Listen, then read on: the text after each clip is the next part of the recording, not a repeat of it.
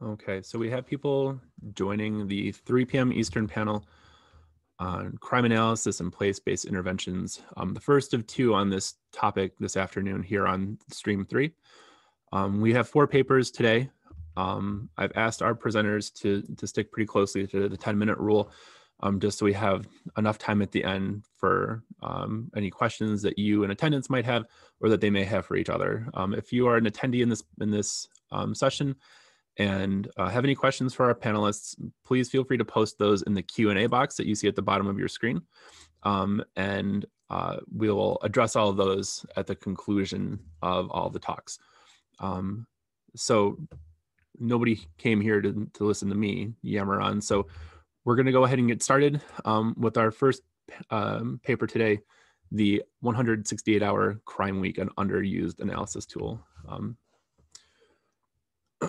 Andy, the floor is yours whenever you're ready.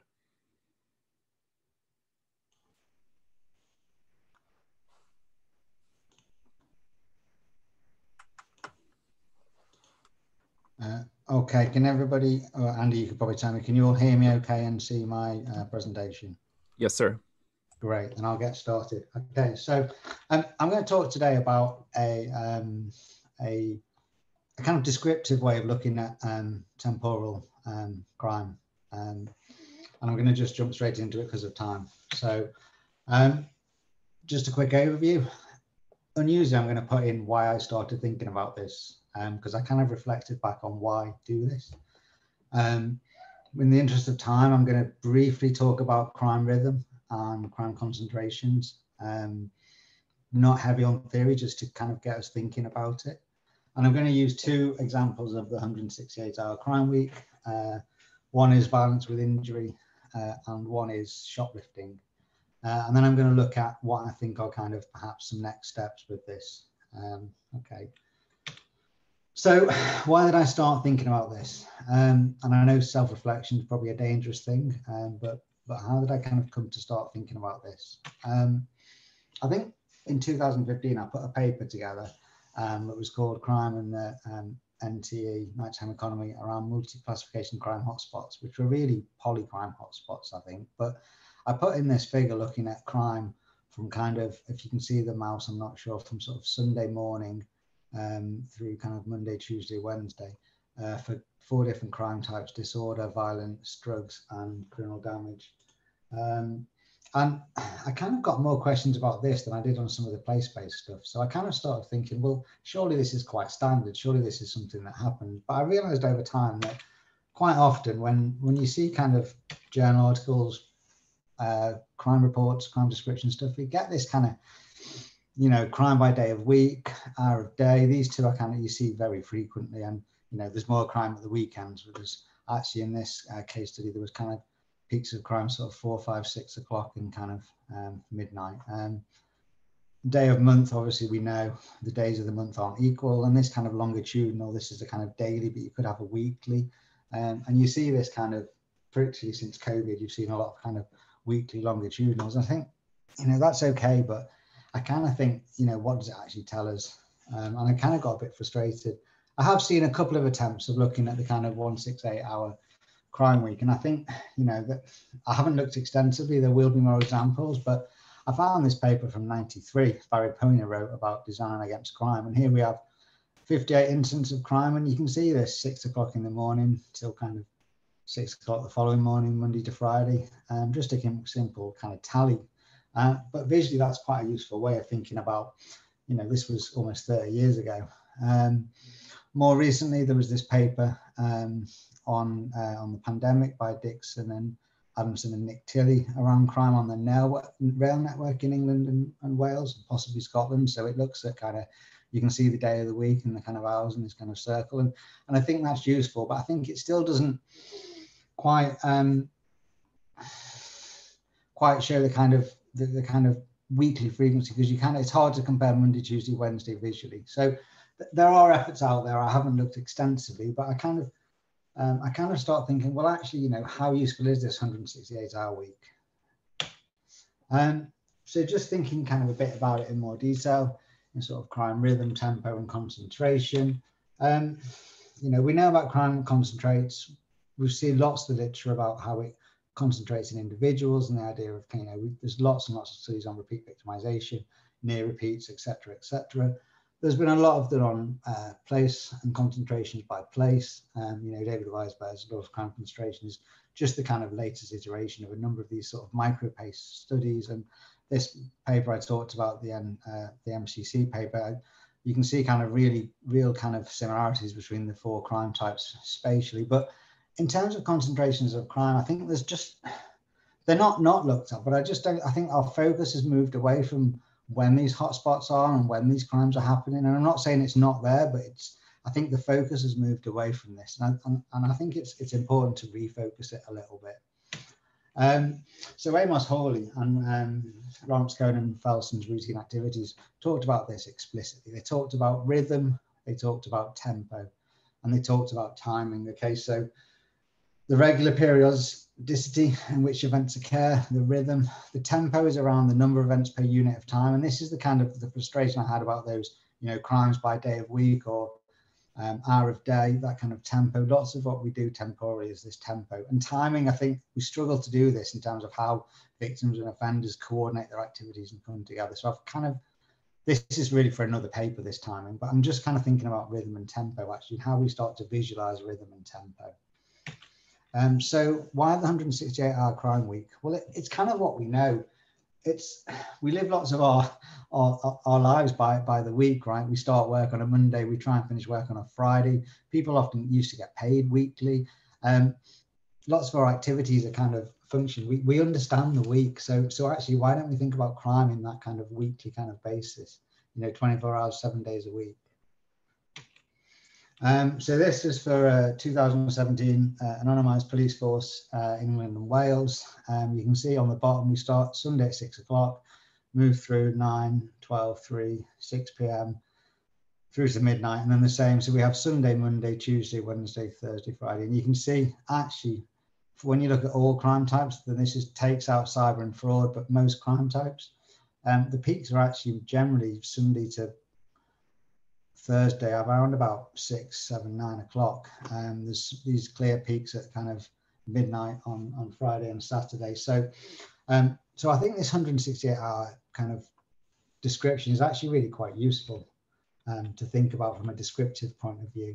So what I'm going to do is I'm just going to look at it for a couple of these crime types. What I've got is I've just kind of simplified it to um, a two point moving average. So the, the peaks uh, might be slightly off, but you can see you know, there's actually quite a distinct peak on a Saturday. There's kind of a dual peak on Fridays, and the weeks are much more um, earlier. The weekdays are kind of much earlier in the day, and they're kind of a single peak. So, so there's something different going on that I think we need to think about. Um, how does it vary by different time types, crime types? Sorry. Um, so here we have um, violence with injury, um, and you can see a real distinct weekend pattern here. You have sort of midnight Friday, midnight Saturday there is an issue, I think, with the data here that I need to check. But you know, the the, the, the dual peaks on a Sunday, um, and actually on kind of Tuesday, you have some more dual peaks, these dual peaks here, but there's a real different pattern going on. And I think actually, to me, that intuitively makes sense just to look visually in a very simple way. Compare that with shoplifting. Um, here you can see the frequencies. So actually, um, shoplifting is quite stable um, throughout the week. It kind of has a single peak around about three o'clock on most days. Um, and actually the, the volumes are quite steady as well compared to violence against person. And you can see this shift of, of, violence with injury to later in the day. So just by looking at these two crime types, you can sort of think about this um, in quite a simple way. Um, I wondered about this kind of seasonally. Um, I broke it down just because it was easy to do by quarter. So this is by the first 13 weeks of the year, the second 13 weeks, etc. Um, so the first quarter, you can see this probably includes New Year's Eve um, from kind of midnight onwards on the 1st of January. But this is the kind of first quarter. Um, when you move into the second quarter, you can see as it gets lighter, we have some some kind of increases sort of earlier in, in the evening, sort of three o'clock, sort of six o'clock, seven o'clock, the, the violence pattern starts to change. Um, third quarter and the fourth quarter, which probably picks up on, on Christmas Eve here as well. Um, so probably the quarters weren't great. Um, but there is fair, fairly consistent patterns for most of this um, for, for, this. So I thought I'd see more seasonality than I did, and it might be around the the kind of the, the windows I chose. But I think it's a useful way of looking at it. Just finally, if I think about concentrations, and obviously you can do a, a Lorenz curve, but um, this is a resource target table. These are the hourly windows. So Saturday midnight, this is just a one hour window. There were 300 offences across the year. That's one minute left. Offences, um, 2% of cumulative offences. So we can see um, you rank these in order. So the fir these first kind of 14 hours, 20% of all your offences in about 8% of your time period. So 20% of offences across about 8% of the week. Um, actually, they're quite clustered Friday, Saturday evenings, as we know. Um, what surprised me a bit was the when you come further down this table, it's not really an 80-20 rule, it's about an 80-60 rule. And actually no, our window had no offences. So even the low ones had six, seven, eight. So across the year, all of these 168 hours had an offence of some of, of, violence at some time. So it's not as spatially concentrated, temporally concentrated as it would be spatially.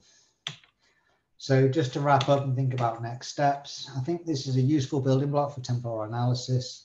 Um, what unit do we use? What's the sensitivity? If we think about the place-based stuff and we have, do we have a 100 grid, a 250 meter grid? What's our window for temporal? Well, how do we look at seasonality and holidays? Trying to move towards a combination of tempo and rhythm a bit more. And I think 168 is useful, maybe some circular statistics and meaningful clusters. And I haven't talked about limitations of recorded crime. I use the from time. Well, obviously you've got a from and a to time and, and that issues around the heuristic stuff. Um, and if you get really small numbers, if you merge this 168 window with very small places. So there are issues here, but I just wanted to flag it as an idea that I quite like. Um, there's a couple of papers that have talked about that since I put this presentation together. Um, I'm going to just um, flag them really just because people who are watching this back on the video can have a look at them. Um, but that's really it for me. Thank you for your time. And um, I think we're taking forward questions at the end. So thank you very much. And I'll hand back to Andy. Thank you so much for that.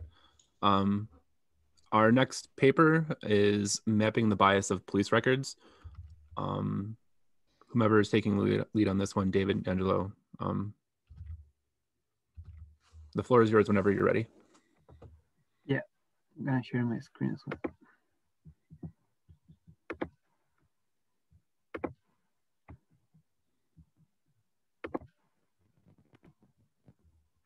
Yeah, okay.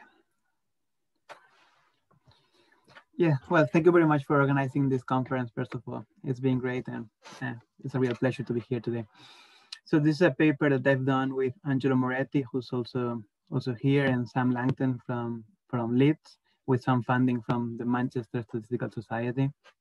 So basically, we wanted to analyze the figure of crime, and that we all know it's a problem for, for crime mapping, and see if the dark figure of crime generates like uh, or the risk of the dark figure of crime is worse when we aggregate crimes at very small levels of geography at microplaces uh, in comparison with larger spatial scales that maybe are less uh, problematic. So that's the main problem that we're trying to analyze here. Um, the paper is now under review, but we're happy to share the preprint if you're interested. The overview of the presentation, we will introduce the problem, um, we know that we have bias in, in crime data. We will uh, discuss some of the sources of this bias and, and how it can change across different geographies. Our research question, data and methods, and uh, as you will see, this is a simulation study that we illustrate with some real world data. So we will present the results of the simulation study and some conclusions finally. Um, so as you all know, we all use police data. Police data is used by police forces to design and evaluate crime prevention strategies, but also by policymakers to, to design policies at the different geographical scales at the, the national level, but also uh, at a local level. And it's also used by academics to develop theories of crime and deviance. So it's quite important to make sure that when you when we use police data, and this police data is not biased, and it's actually showing the actual representation or the actual visualization of the geography of crime, right? Uh, but we also know that that's not the case. We also know that police recorded crime is affected by bias um, that affects the figure of crime. And this dark figure of crime changes by the victim's willingness to report crimes to the police that we don't, we know changes by the sex of the victim, age of the victim, ethnicity of the victim, etc. We all know that. We also know that the police control over areas is different. So the police uh, controls some areas more than others, and therefore the, the likelihood to witness police, the, to witness crimes when they are happening also changes between, between areas. And also, and there are different counting rules that can affect some police forces or police administrations more, more than others. However, this doesn't need to be a problem if the dark figure of crime is the same in every single area right?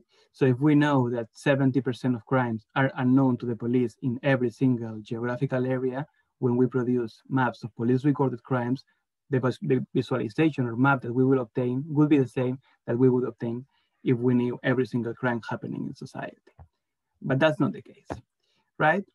But the question that we're trying to solve here is, is this problem larger when we produce crime when we produce maps of crime at the level of very detailed levels of geography.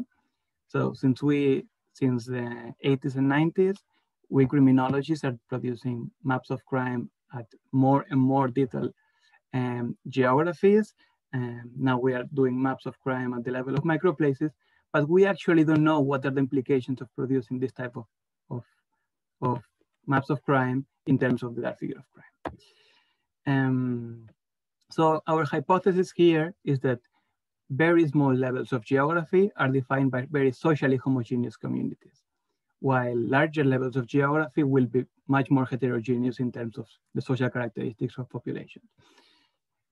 Then um, the dark figure of crime is more likely to vary across very small geographies than across uh, neighborhoods or community areas, for instance. Um, so this is the research question of our of our paper. Are crime maps produced at the smaller, more socially homogeneous and spatial scales at a larger risk of bias than maps produced at larger, probably more socially heterogeneous uh, scales? And our hypothesis is that, yeah, yeah, right. The risk of bias goes larger when we produce maps of crime at microplaces, for microplaces. So um, since we don't know every single crime that happens in society, the only way for us to answer this question is using synthetic data sets of crime, like a simulation study. Our simulation study is divided in four steps that I will explain very briefly here, um, but we don't have much time. So if some of you have some questions, I can answer them later.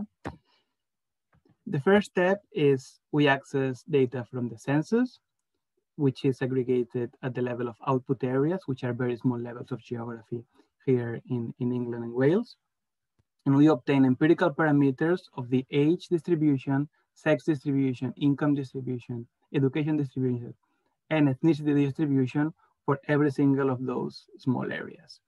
Then using those parameters, we generate a synthetic population of UK residents or England and Wales residents that uh, replicates the actual population in every single area for England and Wales. Then using uh, parameters obtained in the study for England and Wales, um, we will estimate how many crimes have been suffered by every single person in our synthetic population. How do we do that? And we estimate negative binomial regression models of, of four different types of crime in the crime study for England and Wales. Violent crime, resident crime, um, property crime and vehicle crimes. We're using the same independent variables that we have generated before in step one. Then this will allow us to obtain regression parameters that we will use to simulate crime victimization in our synthetic population, also following a negative binomial regression model that we assume uh, is the distribution that crime follows in, in this case. Then in, in step three, what we want to know is whether each of the crimes that we have simulated in step two is or not known to the police. And we follow a similar procedure as in step two. We feed uh, logistic regression in this case because we only have two outcomes either it's either each crime is known to the police or not known to the police.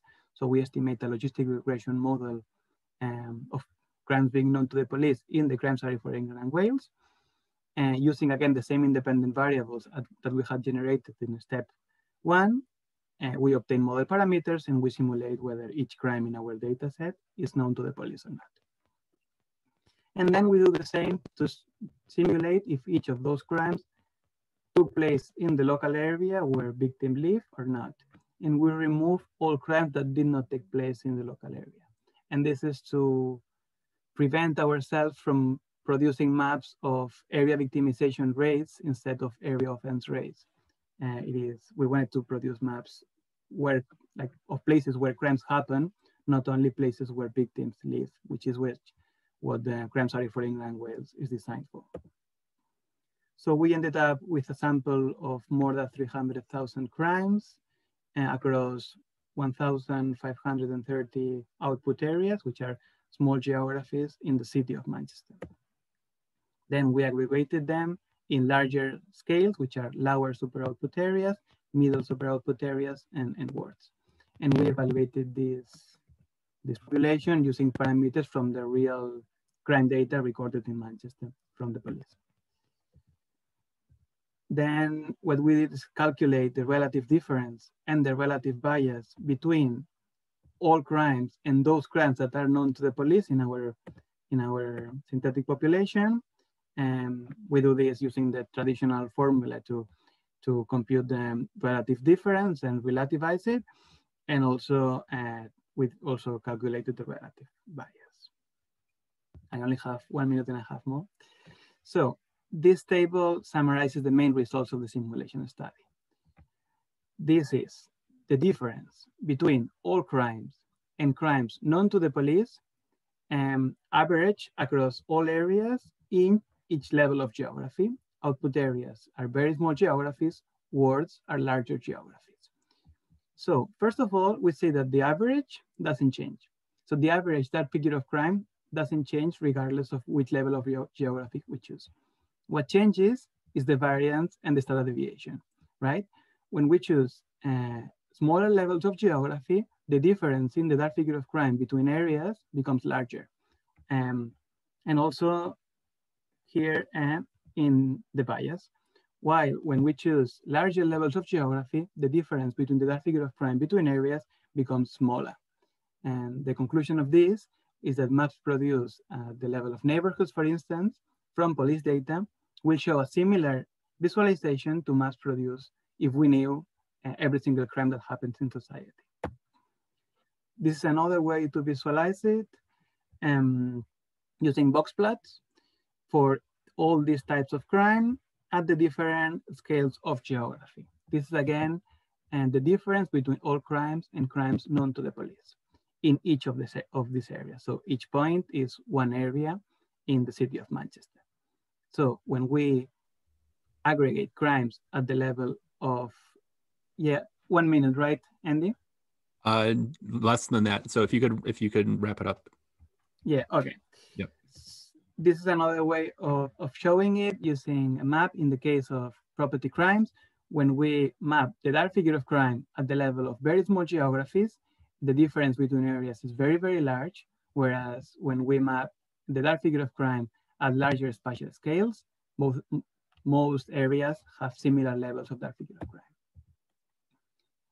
Therefore, aggregating crime, crimes known to police at very detailed levels of analysis increases the risk of inaccurate maps, um, while maps of police recorded crimes produced at the neighborhood and ward levels show a more accurate image of the geography of crime, this of course has limitations. Our simulation study uh, captures area victimization rates, not like rather than area offense rates, which is a limitation.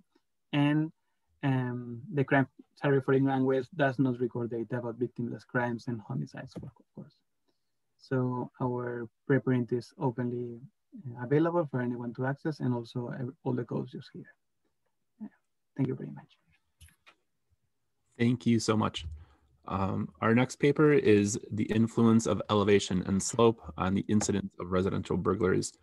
Um, Natalie, whenever you're ready, the floor is yours.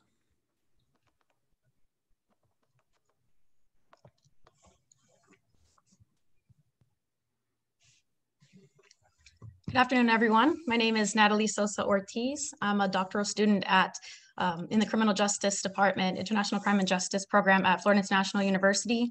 Um, so thank you all very much for being here in attendance and for hosting this presentation today. Um, this is the project that I'm currently working on, and it's entitled The Influence of Elevation and Slope on the Incidence of Residential Burglaries. So first and foremost, why is it even important to understand how elevation and slope influence crime? Well, it's important for a variety of reasons. Um, these two geographical features are largely understudied in the field of environmental criminology, but there's evidence to suggest that they're, that they are very good at predicting certain crime types. Um, first and foremost, they help to inform policing practices. So if certain crimes at certain elevations and slopes um, are found to have certain patterns with specific crime types, then it can help with the development of situational crime prevention techniques and the allocation of police resources. In addition, it can help to identify um, crime patterns to help police departments and other agencies predict future behaviors. And lastly, it has theoretical implications.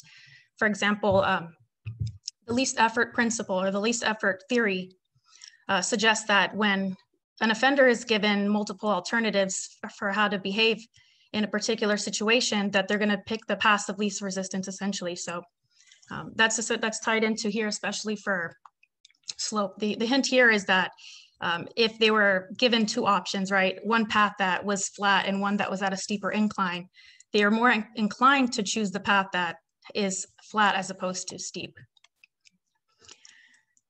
So there's very limited um, studies that have incorporated slope and elevation and their relationship with crime. But here are a few examples. To date, there's no general consensus on how elevation and slope affect a variety of crime types. And that's partially attributed to the fact that um, the units of analysis in each study is different. Um, the research methods that they employ are different. For example, some study crimes that occur at the street block level, others at the neighborhood level. Um, and others in the suburbs and such. Uh, the geographies are also largely different. Uh, some studies have been conducted, for example, in Cincinnati, uh, Seoul, and South Africa. So again, there's no clear relationship between um, slope and elevation and variety of crimes. So these are the theories that are gonna be informing my particular study. We have the rational choice theory, which assumes that offenders will make rational decisions, right? They engage in a cost benefit analysis to determine whether they'll commit a crime or not. The routine activity theory, which says that victimization is likely to occur when um, a motivated offender and a suitable target converge in the absence of a capable guardian. And as I mentioned before, the least effort principle, um, when they're given two alternatives for a course of action, they're gonna choose the path of least resistance. So there are several gaps in the previous research. For example, as I said, there's limited research that investigates the relationship between geographical factors and crime. A lot of the environmental criminology research uh, emphasizes things such as um, non-stationary variables such as weather, temperature, climate, uh, environmental design, building design, and things like that, but not necessarily the influence of the physical terrain on crime. Uh, moreover, the influence of slope and elevation, especially at the micro level in analysis and for specific crime types is not clearly understood. Uh, for that reason, I chose the block uh, unit of analysis for my study and I'm studying specifically residential burglaries. And finally, a lot of the research conducted um, before on slope and elevation focus on geographic areas that are less hilly. So for that reason, I chose the um, city of San Francisco as the area of emphasis in my study. Number one reason is because it's the number one hilliest city in the United States and the second most hilliest city in the world. Um, this study is also advantageous because it examines factors that can explain block-to-block -block variability for the specific crime of residential burglary. And it also examines how the environment and crime relationship uh, exists for specific land use type, right? So there's different types of land, residential, commercial, and industrial, but this one uh, specifically focuses on crime events that occur in residential areas. So these are my research questions. Um, are street blocks in San Francisco with higher average elevations more likely to experience residential burglaries? Um, my hypothesis is um, that there's a negative association between elevation and the incidence of residential burglaries, such that um, areas that have higher elevations will experience less um, burglaries. Um, there's a, a, conflicting explanation for this that says that um, it's probably more advantageous for crime events to occur at higher elevated areas because of the vantage point that it offers. Um, but we'll see how it plays out. I believe that it'll be a, a negative association. The second research question is, are street blocks in San Francisco with steeper slopes more likely to experience residential burglaries? And again, this one's informed by the least effort principle. So I am supposing that um, there's going to also be an inverse relationship, whereas uh, street blocks that are steeper, like have a, a larger gradient, are going to experience less residential burglaries because of the effort involved and um, the difficulty, for example, in offenders escaping. So my data sources, um, I got the bulk of my information from the Data SF website. Um, the residential burglaries that I've extracted come from the police department incident reports. There are 7,465 incidents in my study and uh, other variables that I'm including involve elevation contours from that website as well, um, transportation networks and the zoning districts to separate the land into different types. And I also have socio-demographic variables that were extracted from the US Census website. So this map here um, separates the land of San Francisco into different types, residential, industrial, commercial, and public. You can see they're color coded here. Um, so my area of emphasis is the residential lands here, uh, because again, I'm studying residential burglary. So all the areas that are in pink are places where um, where opportunities for crimes to be committed for residential burglaries. They all have dwellings in those particular areas. This map is also um, it's illustrating the relationship between elevation and residential burglaries. So as you can see on the left side, as the colors become darker, um, these are higher elevated areas that you see toward the center here. This is a very hilly aspect of San Francisco. That's where Twin Hills are and such. So the elevation get as high as 800 feet. And on the right-hand side, this is um, the number of residential burglaries. So as it gets closer to the shade of red, the more residential burglary incidents that occurred in that particular block. Um, so from a superficial scan, um, it doesn't appear that there is a very clear relationship between elevation and residential burglaries. We do see a, concentration here in the northeast corner, which is near the commercial district in San Francisco, and a larger uh, incidence here in the southeastern corner of San Francisco. So the variables in my study, um, the independent variables are elevation and slope. The elevation is going to be computed by um, getting the average slope per block um, and the slope is also computed by taking the difference uh, per block in elevation and dividing that by the length of the street block. So it's like a, a rise over run. Um, again, the dependent variable is the number of residential burglaries per block. And these are the uh, variables that I'll be holding constant in my study. As far as my analysis plan, I'm going to be conducting a negative binomial regression uh, analysis on this. And of course, this is more appropriate to use when you're using count outcomes and your independent variables are continuous.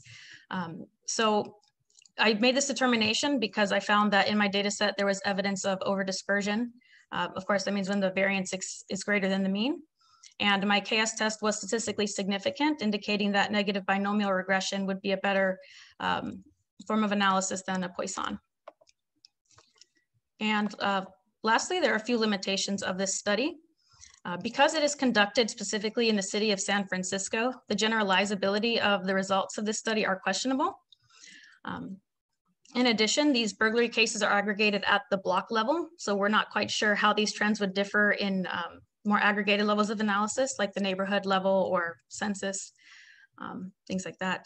Um, there's also a lack of a standardized measure for how to compute slope. Um, other researchers have used techniques such as studying um, the variance or the standard deviation of mean for their particular units of analysis. So there's not an official um, method of how to compute slope at this point. And finally, my study does not distinguish between different types of residents. So um, we can't see how these the relationship specifically between elevation and slope differs for different types of dwellings, such as apartments and homes and um, lofts and flats and such. So.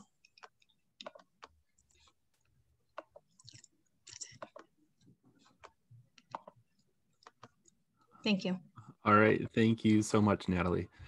Um, our final paper uh, in the session this afternoon is Eyes on the Street. Um, Shannon and John, um, whenever you're ready, um, the floor is yours.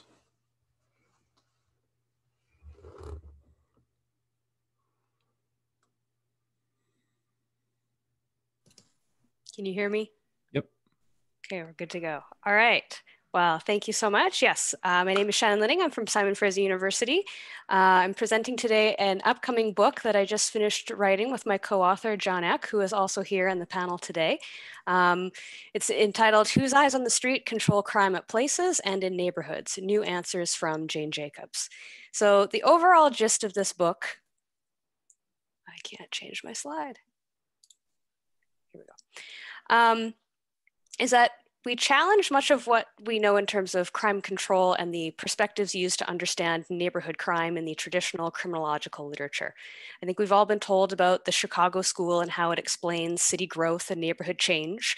Uh, you see Park and Burgess here likening that process to this sort of natural ecological one of invasion and succession. Um, but as we found in a lot of our research and those of um, others in criminology, the problem with this is that it's often not reflective of what we actually see uh, in cities and how neighborhoods actually change. Um, and this came from a lot of work that we had been doing in some urban neighborhoods in Cincinnati, where the explanations in traditional crim theories were not accounting for the things we were seeing. And as we looked elsewhere in the literature, in other fields such as urban planning uh, and economics and, and business, a lot of people were looking to Jane Jacobs, and especially her book, Death and Life of Great American Cities. And one thing that's interesting about this, we actually picked her book up and read for ourselves, and we found overwhelmingly that criminologists typically misinterpret what Jane Jacobs talks about. Um, her famous term, eyes on the street, is often interpreted as meaning the eyes of residents within these neighborhoods and their ability to exert control within neighborhoods. So it aligns much with that Chicago school perspective. Um, but as we talk about in the book, a lot of Jacobs' ideas don't align with that initial interpretation. So to give you a little bit of context, uh, the neighborhood that we were studying uh, was called Walnut Hills in Cincinnati. Um, they got a new director at the nonprofit Redevelopment Foundation and took a very place-based approach to try and change the neighborhood. Uh, for many decades, it had been a very high crime neighborhood with a lot of boarded up buildings, vacant buildings, various crime problems. And he took a place-based approach to try and get government grants and to get property developers to come in and focus on a very small three-quarter mile corridor um, and redeveloping the specific properties within that area to try and um, you know, improve upon the neighborhood.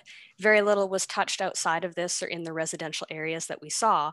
Um, and we also generally didn't see a lot of involvement of residents in this process, but over a very short period of time, we saw this neighborhood transform rapidly, as you can see in the photos to the right that I've taken. Um, these vibrant businesses that were attracting customers from all over the city, it became this really go-to neighborhood. And we also saw crime patterns decline quite rapidly. So as I mentioned, the traditional sort of uh, Chicago school explanation of the structural factors that we typically um, use to understand differences in crime across neighborhoods really didn't fit. Um, and we found that reading Jane Jacobs' Death and Life um, helped us understand this process. So in the book, we're going to cut right to the chase and give you our sort of three core arguments of what we believe Jane Jacobs' work and these ideas can bring to criminology that we think uh, criminologists should embrace to help advance the field and our understanding of crime at places and in neighborhoods. So the first uh, is a turning point from the focus of uh, residents as the main source of informal social control to place managers. So Jacobs very frequently talked about um, the influence of shopkeepers and property owners, business owners, that idea of you know the individual standing outside of their shop they're sweeping the street they they know the owners across the street uh, maybe regulars in the neighborhood the residents in the apartments above and they have uh, a sense of control over this neighborhood and by virtue of ownership of the places that they have they have the power to control what happens there and sometimes even at nearby places. They also, different to residents, have this economic incentive to keep their places um, functioning well and keep them safe to attract customers to these particular areas. Um, place managers are largely absent from a lot of the neighborhood explanations that we see in criminology. Uh, and we argue that this shift or this turning point, as Jacobs brings to the literature, is that we should also focus on this very vital source of informal social control that has been uh, largely overlooked. So in that vein, when we think about the influence of property owners, the control that they have within these neighborhoods, the second turning point um, has to do with the creation of crime opportunities within neighborhoods. So while the Chicago School focuses a lot on this ecological perspective, they liken that neighborhood change and city growth um, to the idea of, you know, the plant ecology and invasion succession of various species. Well, Jacobs does not agree with this analogy at all. She argues that cities are more like farms. They're not this natural process that you have farmers who you know, to use the analogy, they will plant carrots in one area, potatoes in another and they pull weeds out of those places. There's nothing natural about these plots whatsoever. The farmers dictate what happens there. Well, she says cities are no different. Farmers in cities are essentially property owners, developers, governments, financial institutions who can dictate what does and doesn't happen in neighborhoods, what exists in these neighborhoods. And so in this section of the book, we we review the literature in urban history, which shows how a small number of these individuals, they're typically elites, and they are rarely actual residents of these neighborhoods, can actually have a great deal of influence and control over what happens in these places. So for example, restrictive covenants that are written into property deeds can dictate who can occupy properties, whether it's lease them, rent them, own them. And these were often driven by race to control who can live in what areas and who could not. Federal government lending policies, many of you have probably heard of redlining before, decided which areas received economic investments and which ones did not. Where would banks approve mortgages so that you could invest in improved neighborhoods versus not? Those were deliberate processes. Um, entire neighborhoods or sections of them could be torn down, as you see in the picture on the right here, tear them down to make way to build highways and interstates that, that move right through uh, particular cities urban renewal policies in the 1950s and 1960s would governments would forcibly evict tens of thousands of people often from poor neighborhoods they would demolish buildings and then give that property over to private developers who would then come in and build new apartment buildings or businesses right so that movement of people was forced upon them to leave these areas. All of these actions and these processes were deliberate, as Jacobs argues. It was not a natural process. And so we go through um, that within the book, why that is important to embrace. So lastly, if these individuals um, possess this amount of control by virtue of ownership, we argue that the fundamental unit of analysis that we need to focus on are microspatial places. An owner can control his own property that he owns. And we also see that a lot of owners will purchase multiple properties, which then extends their control. Then these owners could also work with other owners who own multiple properties that creates a network of places. And then we can see these much larger or wider neighborhood effects. Um, so wider control or even lack thereof can often start at places. And we give examples of this. Many of you have probably seen examples of it with um, you know, Kate Bowers' crime radiators paper, or the reverse of that, Clarke and Weisburd's uh, diffusion of benefits idea that these, these issues in, of control can start at places and radiate outwards. Um, so all in all in this book, we argue that the Chicago School has provided a perspective in criminology that has guided a lot of the research we've done in terms of what questions do we ask? What people do we study? Uh, what methods do we use? How do we interpret our findings or the findings of other people? Um, and we and the, the misinterpretation of Jane Jacobs' work using this lens is an example of this. Um, and we wanted to bring to criminology uh, a correction of what Jane Jacobs really talks about, and we offer what we refer to as a neo-Jacobian perspective. So it's a new way to look at neighborhoods, which we believe will open up a host of new uh, research questions, groups of people to study, and methods to use that we believe will help advance criminology and our understanding of uh, neighborhoods. So as I mentioned at the beginning, this all comes from work that we just finished up a draft of a book outlining all of these ideas. Um, it's been contracted by Cambridge University Press for their new Elements in Criminology series. The first in that series was just released uh, last month. Uh, it's currently under review and slated for release uh, next year. We're very excited about it. Hope other people will be as well. Um, we have certainly throughout this process um, adopted a new perspective and way of looking at the world. And we're hoping we can get other people to put on a new set of glasses and see the world a little differently too. And uh, hopefully you'll be interested in picking up our book and maybe in the meantime, reading Jacobs' work as well. So thank you.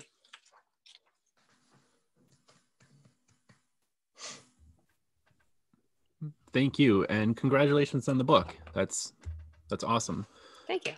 Um, so we have time for questions. Um, one did come in. Um, um, and so uh, Natalie had answered it in the Q&A, but I, I would like to do it, it live as well, just for people listening um, or who may uh, find this um, on our YouTube page in a, in a few weeks. And so the, the question was, again, for Natalie, does the height correspond to income?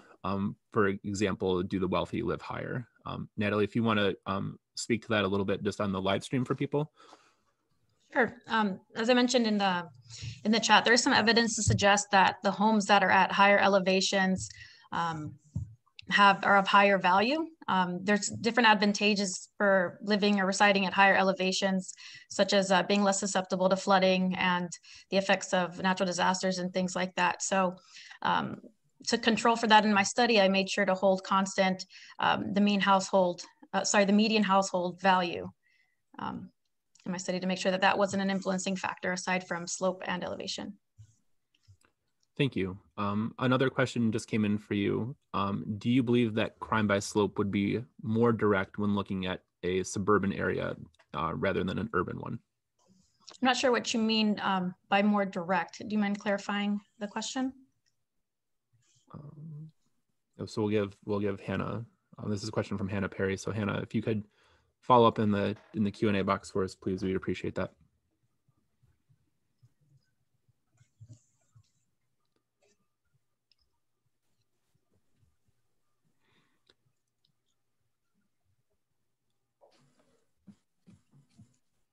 Little waiting game of online conferences.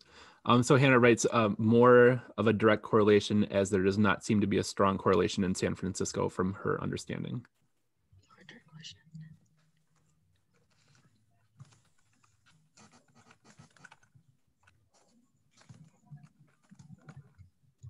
So a stronger relationship is what you're asking.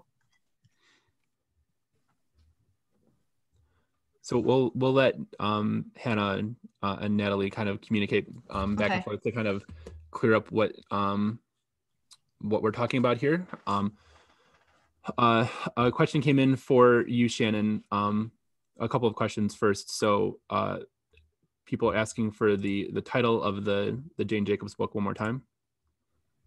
Uh, yes. Can you all hear me? You can hear me? Yep. Mm -hmm. uh, it's called Whose Eyes on the Street? Control crime at places and in neighborhoods. New answers from Jane Jacobs. So if, if anyone is interested, if you just Google Cambridge elements in criminology, you should get the search result that has, there's a whole web page that's gonna, it starts showing the various books within the series that uh, ours will be hopefully appearing soon once we get through the review process. Um, another question for you, Shannon. Um, do you think property owner place management will differ or vary by microplaces that residential, commercial, or mixed use? Can you repeat the question? Um, yeah. Um, do you think property owner place management will differ by microplaces that residential, commercial, or mixed use? Um, it's in the it's in the Q and A box if you want to if you want to read it. Maybe Sorry, I'm not. Just, you want me to try it? Sure. I mean, it have to. I mean, it's it's we have to stop thinking of place management like guardianship. Uh, if you go once stores open again and you can go out and see how these things work, you'll see place management at work at a grocery store. It's very different from place management at a bar. Um, it's how those places operate. I mean, it's it's one of those uh, things of life that is so obvious that we've overlooked it in criminology. Um, so the real question is how a bar how bar management differs across bars, or how grocery store management across grocery stores, because you can't manage a parking garage in the same way you'd ma manage a movie theater. Um, maybe in business 101 you get some general principles but after that it's it's going to be very very different um, so and and sorry that i was able to read the question now yeah. just in understanding of i think what they're looking yeah. at too is yeah, the place managers are interested in the overall functioning of their place, and each place might serve a different function. And so they might operate it differently. And the same as different crime opportunities could be present at one place versus another, that they would tailor different management approaches and decisions at those places. Thank you. Um, so we have time for one more question. Um, uh, so um, for you, Natalie, um, in terms of victims by gender, uh, they write, so females tend to live in higher elevations. Um, I think just asking for um, a little bit of clarification on, on the role of gender in your, in your work. That's interesting that you brought that up. I don't have gender specifically as a variable that I'm looking at in my particular study um, because I can see elevation in terms of the physical terrain, but not necessarily, you know, how, how high up into a structure or a building the, the incident occurred because typically the when the residential burglaries happen, it's on the bottom floor of a building. Um, but that would be interesting to analyze in the future, uh, the influence of gender and altitude. Elevation within elevation. Elevation, yeah. um, awesome. So uh, we're out of time. Um, so I just want to say thanks again to all of our um, panelists for, for taking time to be with us today. Um, and congratulations on all of your incredible work. Um, thank you to all of our attendees for coming out this afternoon. I know Friday is, not the optimal time for Zoom stuff. Um, so all of us at CrimCon appreciate your um, participation.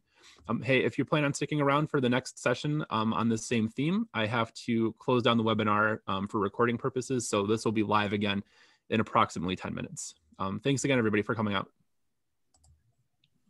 Thank you all.